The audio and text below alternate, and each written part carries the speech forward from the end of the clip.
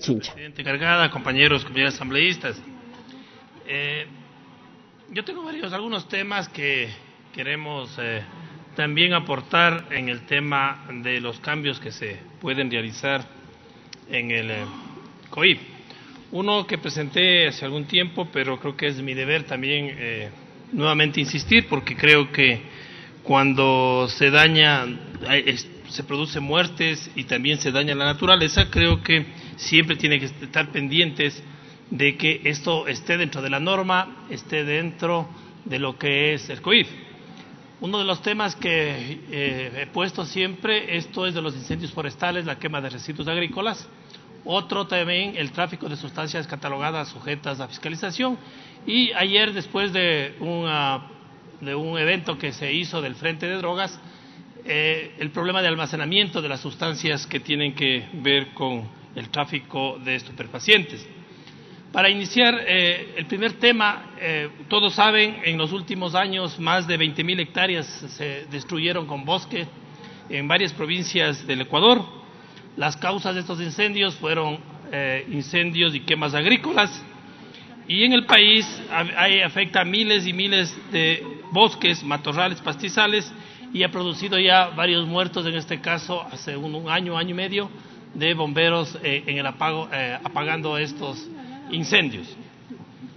Vemos las noticias que salen en la prensa, eh, por ejemplo, se quemaron 30 hectáreas en- cerca del Zoológico de Baños, incendio forestal en el Cerro Azul, incendio en el Atacazo, en donde yo vivo, más de, con el distrito metropolitano, más cerca de mil hectáreas que se quemaron y se, y se dañaron.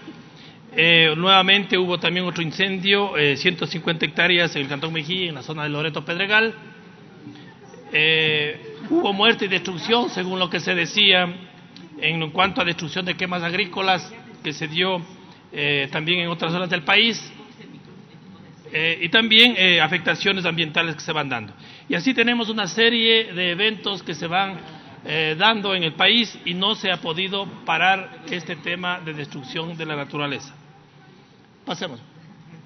¿Qué es lo que produce estas quemas? A más de los problemas sociales, produce la quema del páramo, que es un ecosistema frágil, lo destruye y vemos ahí una fotografía, ese es de un río que bajaba de un páramo, que después de varias quemas y destrucción ya es un río de piedras, ya no hay agua. Eh, se habla de los estudios que se realizó en los páramos que hicimos en los años 90, que impulsamos en este tema de páramos, que casi el 48% de la agua que se generaba en los páramos se han perdido. Entonces, esto es, uno de los temas importantes que no indica lo que es el código. Pasemos. Eh, además de eso, las quemas ya no es un principio. Antiguamente la agricultura se basaba en la práctica de roza, tumba y quema. Y eso se hacía, se ampliaba la- en, la, agricultura. Hoy ya no es necesario. Hoy los rastrojos se deben hacer abonos, los rastrojos se deben enterrar porque sabemos que son nutrientes. Pero la quema también producen furanos y dioxinas que son perjudiciales para la salud y el medio ambiente.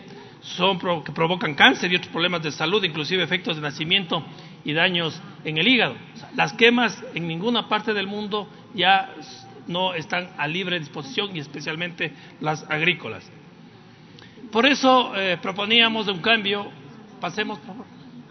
En el artículo 246, donde decía, se exceptúan las quemas agrícolas o domésticas realizadas por las comunidades o pequeños agricultores dentro de su territorio, a un cambio que debería ser en base a lo que es las quemas controladas.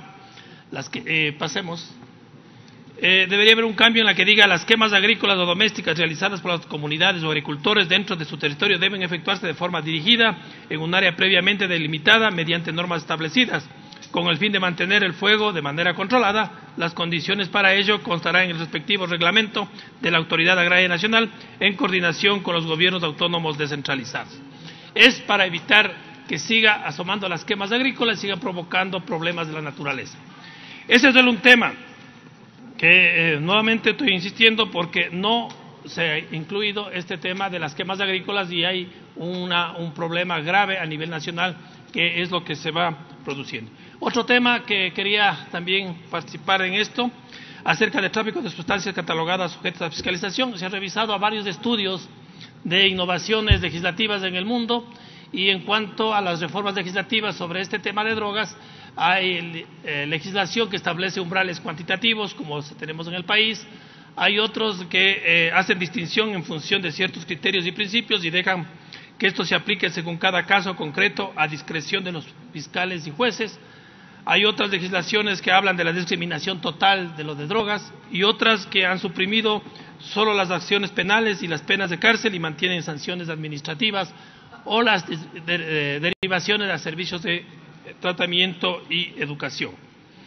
Vemos eh, varios países que tienen estos umbrales, no solamente es aquí, es varios países, tanto desarrollados como en vías de desarrollo. Y como conclusión de, los estudios, eh, se dice que no hay ningún argumento con fundamento científico contra las ventajas de la descriminalización de la droga. Esta no conduce a un mayor consumo de droga y, en cambio, sí descarga notablemente la presión a la que están sometidos los organismos de aplicación de la ley y los sistemas judiciales penitenciarios. Esto es lo que sale en conclusión de los estudios. Eh, en el país, pasemos, en el país eh, hubo cambios, como se dijo, en una tabla que tenía ciertos parámetros y cierta escala, se pasó a una donde había menos eh, eh, los límites de droga y se aumentó las penas. Ese es un estudio que hizo ILDIS 2017 sobre política de drogas en Ecuador, un balance cuantitativo para transformaciones cualitativas. Pero ¿cuáles fueron los resultados después del análisis de la aplicación de la segunda reforma? Pasemos. Dice, primero, los datos demuestran que la segunda reforma a los umbrales estimuló a las agencias de seguridad pública a aprender a un mayor número de personas, un incremento del 60%.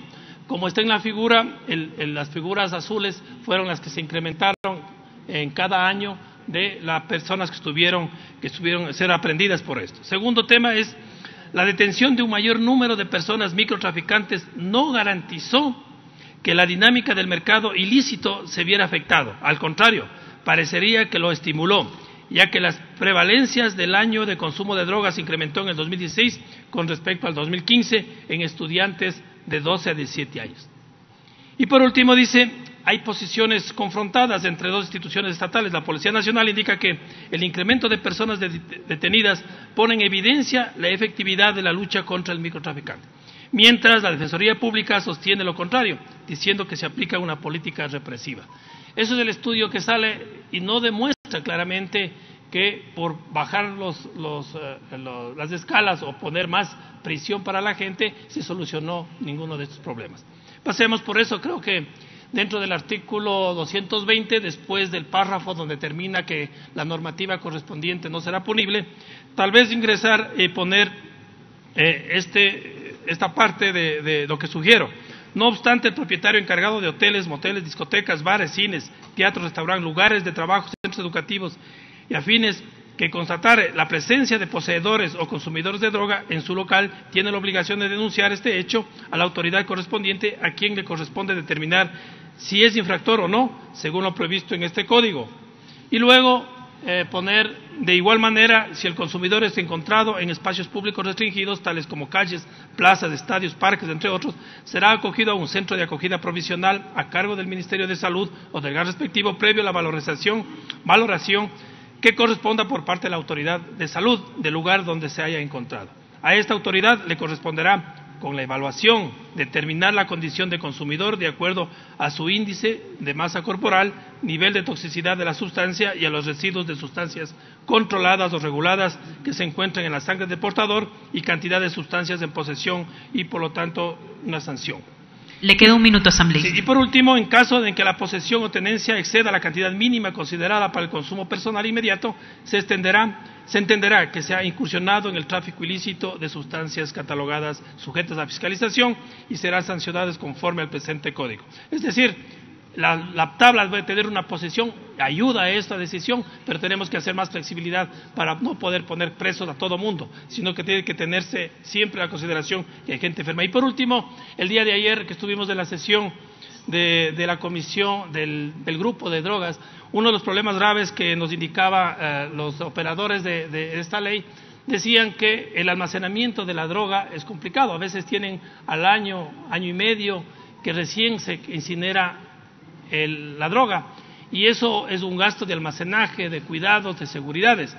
Y creo que eh, este es un tema, no es un, tema donde tenemos casas o departamentos que, hay, que cuando se declara que es inocente o culpable, si es inocente, se devuelve los bienes. Aquí la droga, sea como sea, va, no va a devolverse a nadie. Y es por eso que creo que dentro del artículo 474, eh, a incrementar esta palabra que dice, después que se presentase el juicio, dice, las muestras testigos se quedarán bajo cadena de custodia hasta que sean presentadas en juicio. Las muestras, como dice la ley. El resto de la sustancia podrá ser destruida en forma inmediata en el mismo acto. Terminó su tiempo, asambleísta. Sí, y cambiar algunos temas para que esto no sea un problema, porque a la, a la final la droga tiene que ser incinerada, tiene que ser quemada, y las muestras sí, que son, que tiene toda la cadena de custodia, tienen que ser presentes para los juicios. Muy amable, muchas gracias. Gracias, señor asambleísta. Vamos a suspender por unos